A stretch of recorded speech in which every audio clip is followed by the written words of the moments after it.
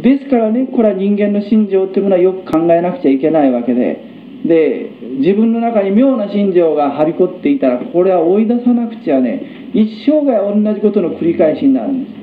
ところがほとんどの人は自分の心情に気がつきませんから同じことを繰り返して一生終わるんです。それで無明からいつまでたっても脱却できないっていう。でこれじゃあ困りますのでところで私はその小さい時どこへ育ったかと言いますと山口県の萩というところで生まれましてねそこで4つまでおりました。で私が生まれたお寺今でもちゃんとございます。妙蓮寺というお寺ですけどその妙蓮寺というお寺のあるところは萩市北古萩というところです。北北っていうのは大体寂しいところです。けどどこでもそうですね。しかもそれに古萩ってついてるんですから最も古いところなんでね。まあおそらく萩市で一番古い町です。ですからそこにあるのはお墓とお寺と土塀しかないんです。民家なんてほとんどありません。全部お墓とお寺と土塀です。その真ん中にその妙蓮寺というお寺がありましてそこで私生まれたんです。でその生まれたお寺に、えー、慶長年間にできた門というのがあってこれがですねまず粉吹いたようにあの苔のくっついた門なんです。その門入ると右手に大きな松の木がありました。これは戦争中にも切られなかった松の木です。それだけですね。私が覚えております。それだけ。あともう一つ海を覚えています。この海は、えー、綺麗な海なんですね。もうその萩のあの菊ヶ浜というとこの海岸の海っていうのは実に綺麗なんですそこへ私の姉は私をひっちょいましてね。ひっちょうっては分かんないですか背中へあの背負ってくださるなんていう感じじゃないんですよ。面倒くさいからしょってやるっていうんで。それポンとか背中にしょってね。そして海岸に走っていってそれで私をどっかへ放り出して茶を泳いでたらしいんですよ。それで私はしょうがないから海でも眺めていたんでしょうねですから海の色は覚えている。覚えているのはその2つです。松の木と海だけ。それから4つの時に広島へ行きまして本證寺というお寺へ行ったら不思議なものですね人間は人間は一つの号みたいなものがあるんですよ。ちゃんとまた門がありましてその門を入ると右手に大きな松の木があるんです。これが大人が3人でやっと抱えるという大きな松の木。ででその松の木のまた右手の方にこれもまた大人3人でやっと抱えるイチョウの木がありまして。でそれがまあ私にとっては大変大事な木だったんです。そこでずっと私大きくなったんですけども変なもんでしてねこの松の木とイチョウの木っていうのはどういうものか気になる私小学校へ行く頃からその横を通るんですけどそこを通らなくちゃもう出られないですからね。でそのとこを通りますとこうこんなですから。私はまたこんな小さいですからね小学生ですから。そこを通る時にこう手でこうポンとこう叩いていくんです。カバンこっち持ってるんです。こっち持ち替えてポンと叩いて。ななんとなくやっちゃうんですこれ皆さんで覚えがあるんですそのね。玄関の柱をポンと叩いて出てくなんて癖があるしひどいになるとそのおっかちゃんの頭をポンと叩いて出てきてもあるでしょうしなんとなくやりたがるで左手でポンと叩いて出てきました。帰ってくると今度は荷物左手持って右手でポンとこうやって。で叩くと母親が裁縫していてカズちゃんが帰ってきたっつって2階から降りてくるんです。これはまた変なんですけど私が帰るとすぐ分かるんで。で2階から降りてくる。私が玄関の格子を開けて「ただいま」っつと「おかえり」って声になって時間的に言うと私が松をポンと叩いた時に母親気が付いてる。もうこういうその毎日毎日こう降ってる。それから台風なんかで、えー、風がこうひどいですとね木がこんな揺れますでしょ。そうすると私は心配なんですね。松の枝が折れやしないかとかね。それからイチョウのイチョウの枝ってのは折れやすいですから。折れると嫌だなと思っていますから2階の窓から一生懸命見てるんですね。てめえのうちがひっくり返りしないかなんてことは全然心配しない。んですそれでよく親父に笑われましたのお前ってのは妙なやつだって。何見てるって言うから松の木とイチョウの木なんでお前見てるか、お前が見てたってどうしようもないじゃないかって。そう言われたってですね心配なものはしょうがないでしょ。それで見てたんです。一度だけ枝が裂けておれましたですね。これぐらいの太いのがあの広島の地方に来た一番大きい台風の時に避けて落ちました。まあその時体がね自分の体が何かやられたみたいな気がして切なかったですよ。ですからそれは私にとってはその私の信条だったわけです。それからうん私小さい時に六幕園というのをやりましてこれいつか皆さんにお話したことあると思いますけど、えー、鬼ごっこしておりましてね友達が走ってこう逃げていくんです。そうするとあの縄がこうたくさんぶら下がったこんなのありますでしょ。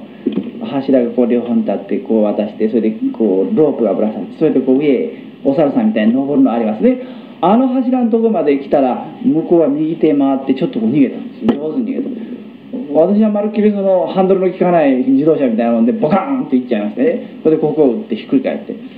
それで気が付いたらベッドの中。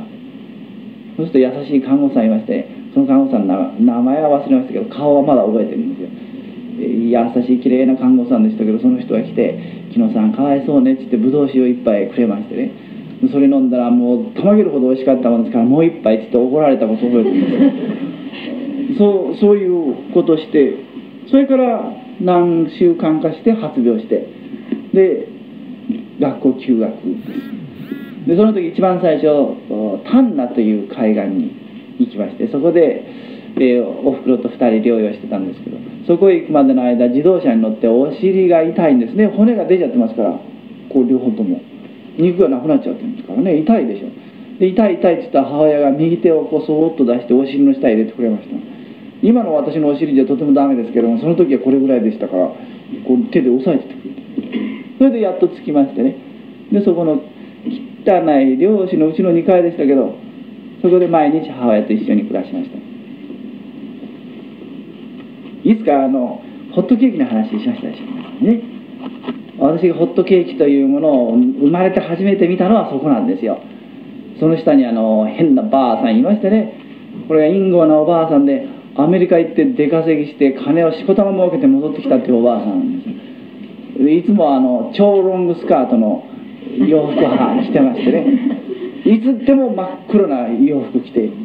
そして子供も孫なんですけど金は一文もやりません。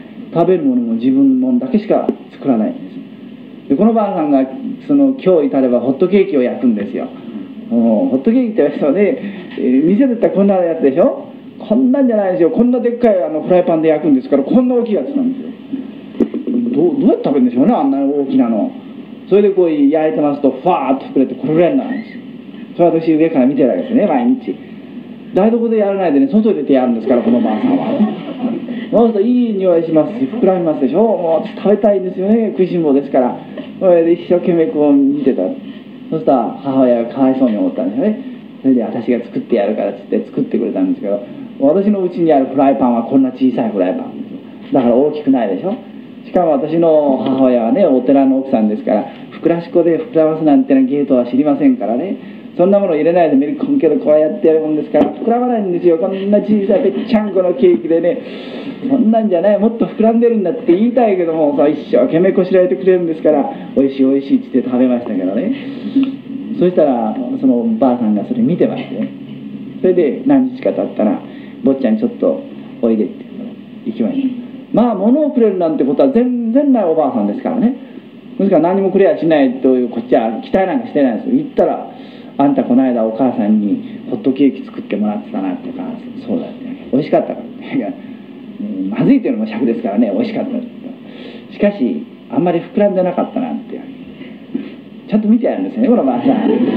そんな教えてくれりゃいいもの教えてくれやしないんですよ。で膨らまなかったそれはねふくらし粉っていうものを入れないからその膨らまないんだそれで今日は一つこしらえてやるんですね。ここでおお昨日こしらえ食べさせてくれたんです美味しいからって。美味しかったんですそれは確かに。美味しかったけども私にとっては母親が作った方が美味しかったんです。大体ねこのケチなババアっていう先入観がありますでしょこっちは。そんなケチなババアが作ってくれるものがうまいはずがないっていう気持ちがあるからね。これは美味しくてもうまくないですよ。だからうちのおふくろ様ってのは仏様みたいな人だから作るものがまずいはずはないと思ってるから。やっぱ私は母親の方が美味しかったですね。このばあさんはね村上水軍の子孫ですから昔の海賊の子孫です。海賊ってその辺たくさんおりましたですよ。全部その辺の漁師のうちは村上水軍の子孫です。ですからどこのうち行っても旗差し物とかね刀とかそんなものがあったんですよ。まあ本当にから海賊の子孫のババアらしい人でですね。そこへしばらくおりましてそのうち親父が海岸に家を買ってくれ今度はエヴァというところへ移ってそこで静養したんですけど。そこは良かったですね。母親と二人っきりですから。小さい魚の市場がございましてね。それでそこへ漁師が魚持ってくる。んですそうすると母親そこへ行ってカゴに魚をもらってくるんです、えー、もう漁師たち知ってるもんですからね。お金取らないただで魚くれるんですよ。昔は良かったですね。特に広島の海岸の漁師っていうのは実に人が良かったですから。私が病気してでお母さんと2人でいるってことを漁師知ってるんです。ですから母親行きますとねそうすると3度に1度ひどい時になると3度に2度ぐらい「いいよいいよ持ってきな」なんて言ってくれるんです。それからおみおつけは作ってそのもう少しでできるというと私に、えー、取ってこいって言うから海岸行って海苔を取ってくるんです。皆さんの海苔っていうのは山本屋の海苔でこう四角なやつでしょ。ねあれ作った海苔ですね。その海岸ではじあの漁師たちが海苔を作るんで、えー、海岸にたくさんあるんですよ。で岩からこう剥がしてきましてね。でおみおつけの中へこうポンと入れて食べる。あんな美味しいおみおつけはまだ食べたことはありません。そうして母親と2人で暮らしていたんですけどそうすると海が毎日こう自分のそばにあるわけで。すで私にとっては海が信条になっているんだなということを私はいつも思うんです。でしかもその海はあんまり深い海じゃないんですよ。あんまり深いとちょっと気味が悪いんで。瀬戸内海の海ってのはそんな深くありませんから、えー、太陽の加減で草色に見えるんです。ですからブルーっていうよりもグリーンに近い。で淡いグリーン色の海が私の心情の世界にある。で広くて鏡のように静かなんです。ね、まあ、波が立つこともありますけどほとんど静かです。で私が海見るのは朝と夕方ですから。で昼間は最初のうちずっと西洋で寝てたんですが朝は起きてみましたからね。で朝と夕方の海ってのは鏡のようでしょ。ですからそれだと私の心情みたいです。で夜は波の音を聞いて寝たんですけど山の中に育った人は海のそばで寝るとあの波の音が邪魔になって寝られないって言いますね。私はあの音を聞いてると子守歌みたいですぐ寝てしまうこういうその信条を持って私は育ったんですけどもこの大きな松の木が私にとっては親父というものを象徴している。それからその広い明るい海が母親というものを象徴している。ですから松の木と海を見てるということは親父とおふくろがちゃんと自分のそばにいるということなんです。でこの松の木もイチョウの木も原爆が落ちた時に焼けてしまいましたイチョウの木というのはねよほど大火でもその焼けない木なんですよ。あれは火が近づいてくると水を吹く木なんです。ねそれでお寺にイチョウの木を植えるんです。あれは防火になるんです。で本当に不思議な木でねあの火がひどくなってきますと木の中からこう水を吹いてくるんです。それで焼けないんですけど原子爆弾にはかないませんよね、えー、とうとう焼けてしまいます。松の木も焼けちゃった。だから私の信条の、えー、象徴だった松の木とイチョウの木は焼けてなくなっちゃった。しかしそれは実物が焼けてなくなっただけで信条の世界の松の木は焼けてなくなりはしない。んですちゃんと今でもある。海の色が変わったということがありましてこれは私が終戦後にキールンの要塞に上がりましてそして海を見ましたらねこの海は真っ赤な本当に燃えてるような綺麗な海ですその海を見ててああ海の色が変わったなということをしみじみ思いました。真っ青な海が真っ赤な海に変わった。それからもう一つ私を乗せた輸送船が、えー、広島の江田島と厳島の間あの海峡に入ってきましてでそこへ停泊しました時にこれがまたね、えー、金色とそれから真っ赤な色とか入り混じったような夕焼けの海なんです。で私は随分あの瀬戸内海の海見ましたけどこんな海見たのは初めて。それが帰ってきたその日でしょ。ですからああ海が本当に変わってしまったなと思いましたですね。あくる日になれば青い海に帰るのは分かってるんですけどもね。しかし一番決定的な瞬間に海はいつでも真っ赤だったわけです。ですから海の色が変わった。ということは母親が死んだということ。母親が死に父親が死んだっていうことは肉親というものがなくなったということです。なななくなったんだなと思って船上がってで広島へ行きましたら果たしてもう死んでしまっておりませんでしたから。だから肉親とか、えー、郷土とふるさとですね。そういうものがその全部なくなっちゃったっていう。そうすると今度は他人が近づいてくるということが始まるわけです。で肉親がそばにいる間は他人というものはあんまりそばへ近づけません。とは肉親が一人もいなくなると今度は他人が肉親の代わりになる。私の人生観の転換点っていうのはそこらしいです。今だってさ肉親おりますけども私が戦前にこう自分がいた環境のような肉親ではありませんから戦前の私っていうのはもう大きなお寺で家族がたくさんいて幸せで男は一人ですから珍重がられましてね、え大事にされてほいほいほいほいってってまああのまま大きくなったらどうしようもなかったですね。それがまあ幸か不幸かみんないなくなりましたから仕方がない今度は他人の中で生きるように。そうすると他人が他人でなくなるんですね。これは不思議なもんですね。それはまあ今の私にとっては大変幸せなことでしたけど。そうするとよく考えると私の信条の一番大事なものはその海とそれから大きな松の木です。でそれを大事にするということは私にとってはつまり親父のように生きるっていうことです。で父親は自分が信じた道はまっすぐ歩いていく男でしたから、えー、この頃犬飼美智子さんが、えー、犬飼木道つまりあの人のお父さんのことを書いてありますですね新聞に。私の父親が岡山県の田舎の寺の住職しておりました時に、えー、伝伝統会社のその労働葬儀がありましてその時岡山県知事だったのは犬飼木道ですで犬飼木道が徹底的に弾圧したんですそうしたら親父や腹立てましてねそれで労働者の側に立っちゃってそれでもう猛烈に抵抗したんです。でとうとうそのあんまり抵抗が激しいもんですからえー、県知事の方が折れてそれでその労働争議が収まったんですけど収まった後で犬飼木道がで労働者のその参謀みたいな男は日蓮宗の坊さんだっていうわけででその人を呼んでこい。で県知事の官邸に呼ばれていきましてごちそうになってですね。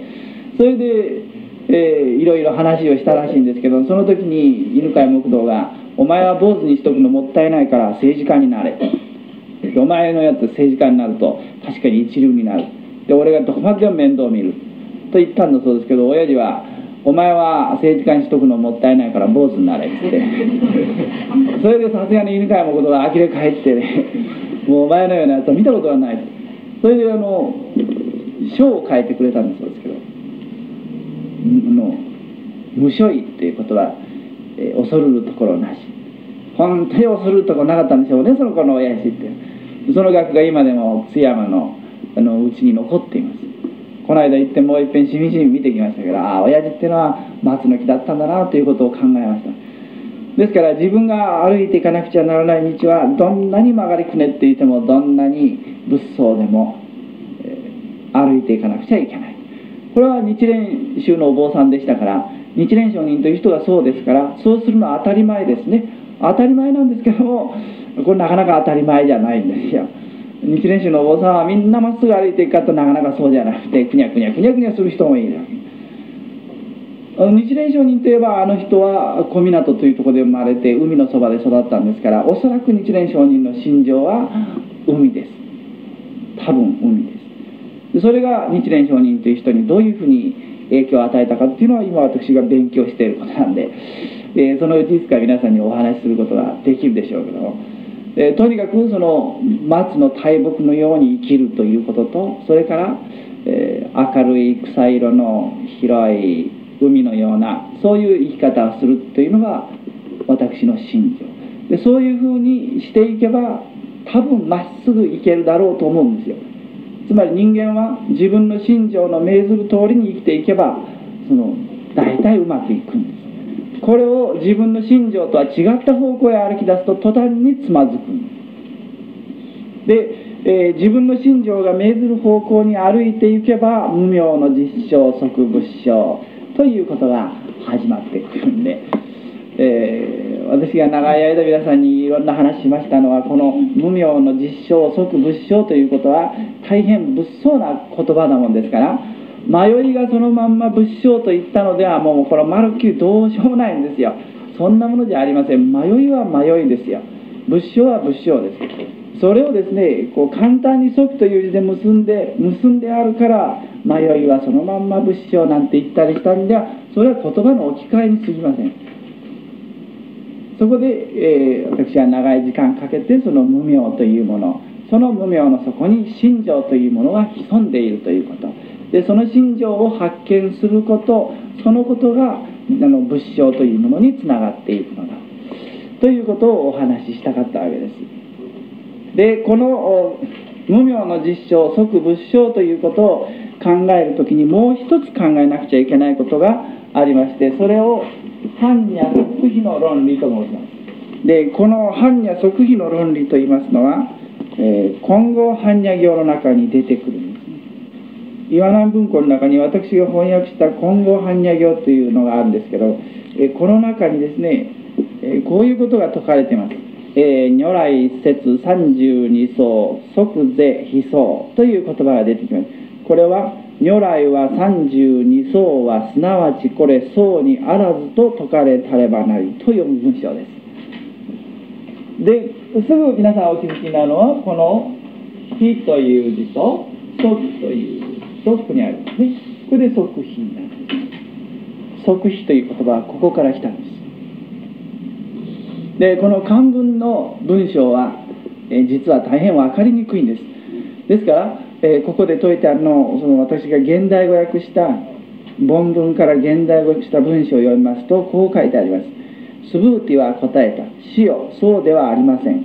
如来尊敬すべき人。正しく目覚めた人は偉大な人物に備わる32の特徴によって見分けられるものではありません。それはなぜかというと実に死よ如来によって説かれた偉大な人物に備わる32の特徴は特徴ではないと如来が説かれているからです。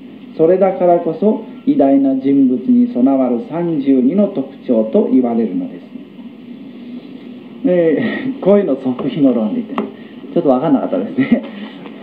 あのね仏様には32の特徴がある。これを32層って言います。で32層備わっている人は仏様だ。これは普通の考え方。ところが32層は32層ではない。だから32層である。という言い方をこの般若心経は今後般若行は言うんです。分かりやすい別の例で言えば、えー、仏は仏でない。だから仏である。だからと言ったんじゃちょっと分かりにくいですかね。仏は仏でない。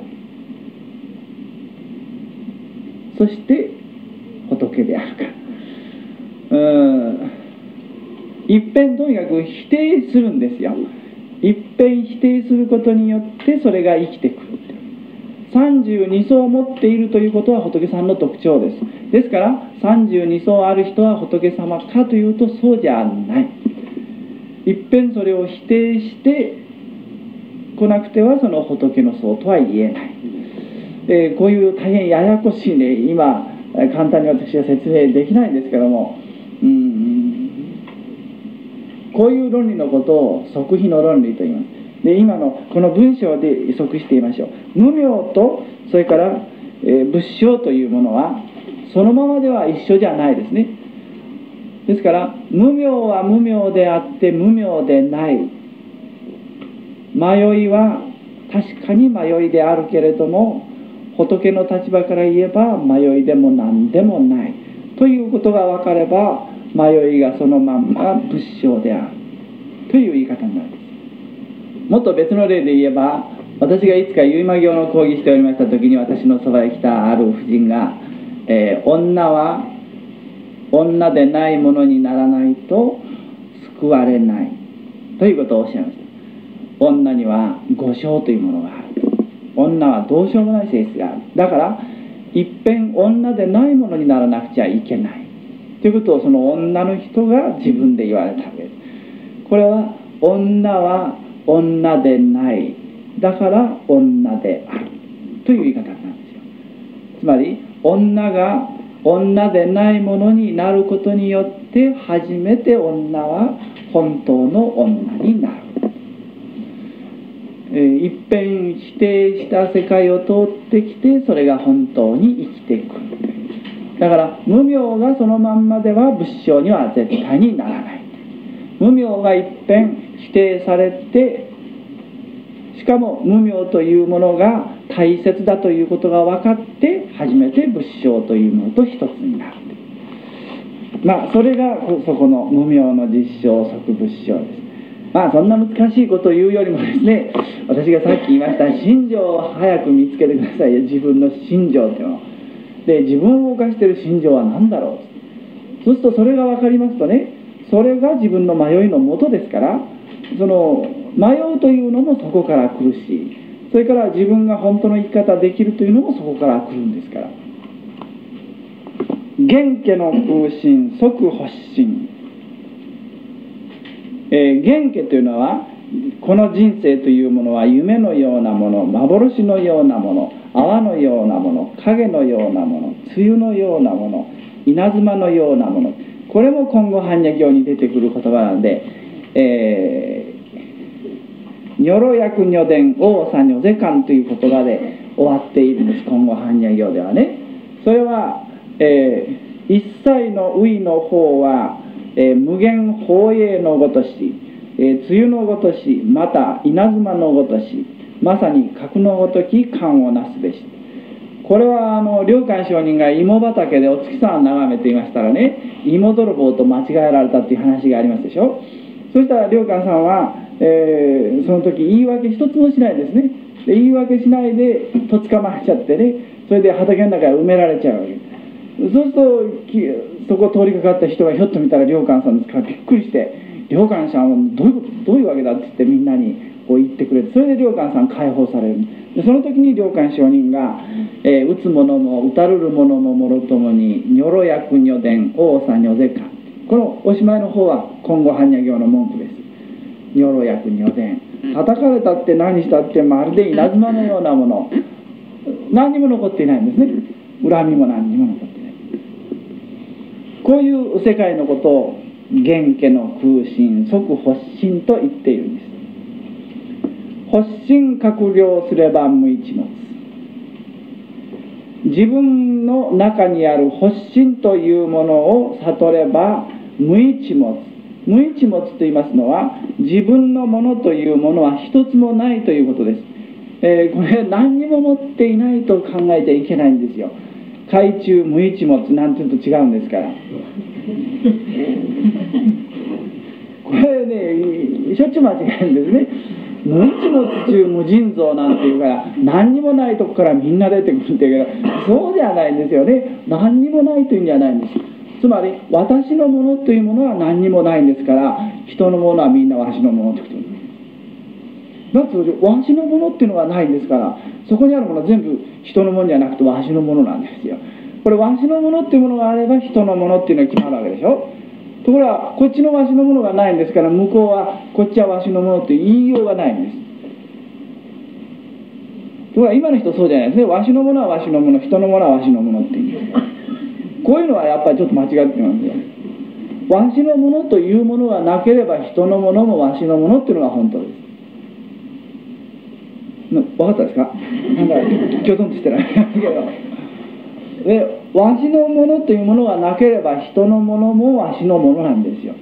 もっとはっきり言えば人のものもわしのものもないんです。これがこれだけはわしのもんだよ。これはわしのもんだよって言うからそれ以外は全部人のものってことになっちゃうんですよ。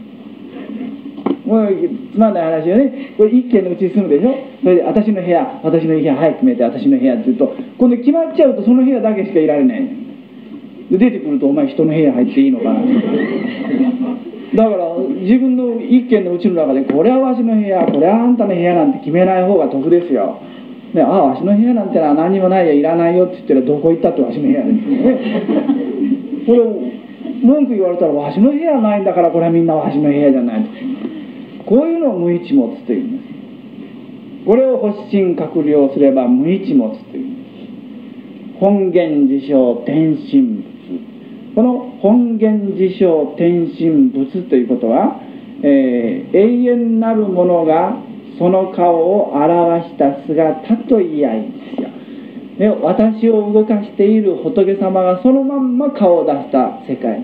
これを本源自称天神仏という。自分を動かしている永遠なるものと私とが一つになった世界です。もう一つになったなんていうと本当は違うんですね。そうじゃないんですよ。無一物でしょ。自分が何にもないんですから。そうすると永遠なるものがポコッと全部出てくる。それを本源自称天神仏えー、高村光太郎があなたが私にあることは微笑が私にあることだなんていう詩を書いてますけど、えー、あなたってね千恵子さんのことですけどね。千恵子さんあなたが私にあることは微笑が私にあることだ。こういう言い方がこれに似ているんですよ。千恵子という人がそこにいるというんじゃないんです。もうね。そうじゃない。千恵子という人の中に全部が現れてるんですよ。全部。えー、つまり本源自称天神仏が現れている。しかし詩の中にねあなたが私にあることは本源自称天神仏なんだじゃこれ詩になりませんでしょ？ですから微笑が私にあることだと彼は言ったんでこの微笑するということはですね私はあの仏教の歴史の中で微笑というのはよく出てきます。例えばお釈迦様が鼻をひょっとひねったらえー、ひねるっていうのはこう見せたことですね。そしたら、えー、大歌唱がにっこり笑った。そしたら大歌唱を後継ぎにされた。あれはあの大歌唱のやつ何も分かんないからねしょうがない笑ったっていうんじゃないですよ。これ皆さんよくなさいますね。わけの分かんないこと言われてどうなんて言われたらにっこり笑うけどあれほとんど分かっていないんですよ。オリエンタルスマイルっていうんですか。ね、外国人がなんかペラペラって言うと日本の女の人わかんないわけなんだってにっこり上がる。で向こう分かったと思ったらさっぱり分かっていない。人間のね癖ってのは面白いもんですよ。私が学生に教えててもね学生の中にあの首振り派なんてのがいいんです。ごいつも首振ってああのなんて言うんですかあああいう学生はほとんど分かってないんですよ。要するにね反射的に首振ってるんですこういうふうに笑うんだってね笑うんだって何か言われために「はあはあ」なんて笑ってるのはああいうのは本当の笑いじゃないんです。美少というものはね永遠なるものとにあの人間とがピタッと一つになった時にこうパッとこう出てくるものです。それが本当の美少なんです。ですから例えば私が見たのでは母親が私と別れます時ね私が戦地行く時に私の胸に軍刀を押し付けてそして、えー、それじゃあ体大事にしてねっつって笑った時のああいう微笑がこの本源自称天神仏です。その時もう母親はいないんです。母親はいてもその後ろにいる仏様が顔を出してるわけです。だから母親の顔は中宮寺の観音様の顔になっちゃってる。女があんな笑い方できるのはですね本当に切羽詰まった時です。で本当に切羽詰まった時に永遠なものとその自分と一つになる。そうすると永遠なものがパッと本源自称天神仏それが例えばその微笑という形で現れてくるんです、えー、五音の不音は空虚来。五音と言いますのはこれ難しい言葉ですけども色樹創業色といって人間の体と精神を作っている5つの要素です。でその5つの要素が浮いた雲のようだっていうんですから、えー、捕まえどころのないものだって。人間の心といい体といいみんな空に浮いた雲のようなものだ。それは空虚来ですから虚しく虚来するというのが一つ。つまり人間の体といい心というもそれは浮雲のごとしそれは虚しく空を虚来するのみ。というのが第一の意味です。がもう一つは空の中を虚来するのみ空というのは何ぞや。空というのは永遠なるものそのものです。仏様の中ですよ。仏様の中を行ったり来たりしている。つまり我々の心も体も仏様の中へ行ったり来たりしている。この2つが重なっているんですね。人間が私の心私の体と言って執着しているけどそんなものありゃしないじゃないかっていうのが一つともう一つは人間の心も体も仏様の中を生きているものだからだから大切にしましょう。というのとですね2つ重なっているわけですよ。三毒の水泡は虚出没。三毒と言いますのはトン人地でしょ。トンというのは貪ること。真、えー、目辺に真如の真と言い書きますがこれは憎しみですね。地は、えー、白地の地でこれは無知。何も知らないこと。人間が生きている意味を知らないことです。この頓人地の三毒は虚出没というんですからちょうど水の泡が消えたり出たり消えたり出たりしたってあるのはもともと水ばかりでその水が形を変えて水の泡になって出てくるだけでしょ。ですからその頓人地などといってもそれはもともとありはしないものだというのともう一つ虚しく出没するのみですからあることはあるんですよね、えー、人間が怒ったり悲しんだり喜んだりということは確かにあるんです。あるけどもそれは大挙の中を出没するんですから虚というのは虚しいという言葉と同時に大挙というものでもあるわけですね。大挙の中を出没しているわけで、えー、だからその憎んだり悲しんだり喜んだりバカなことしたり何にも分かんないたかりするそのことの中に大挙というのが永遠なるものそのものがあるこういう生き方をしなくてはならぬのではないかっていうことです。で実相を称すれば人望なしで、えー、人間もなければ法存在というものもない。あるのは永遠なるものだけ。実相というものを捕まえてしまえば存在するものは永遠なるものだけ。例えて言えば空というものがあるだけ。大挙というものがあるだけ。これを実相を捕まえないと何があるかというと虚しく巨来したり虚しく出没したりする世界というものがある。がそういうことになるんですけど 今日の一番大切な問題はその無名の実証即武士証ということでした。で信条というものを的確に捕まえると。そうするとその信条をして私の信条をたらしめたものは何かっていうことが分かるわけですね。そこで仏永遠なるもの、えー、自分を生かしている何かそういうものが分かる。そういうものを捕まえてしまえば、えー、あとは何にも心配ないというわけにはいかないですね。だってその虚出没でしょ？やっぱり虚しく出没しそれから空虚しく巨来するんですから。まあ大変難儀ですね。もういいとこまで行ったなと思うとスカタンと落とされるんですよ。これが、まあ、この衝動家の 面白いところなんですけど。しかしそれは仏法の悟りのまた真髄なんですね。悟ったなんと思ったところからひっくり返される。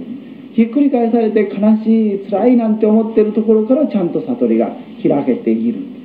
この2つ重なった世界を大事にしましょう。ということです。どうも。衝動家の風光。第一項でした。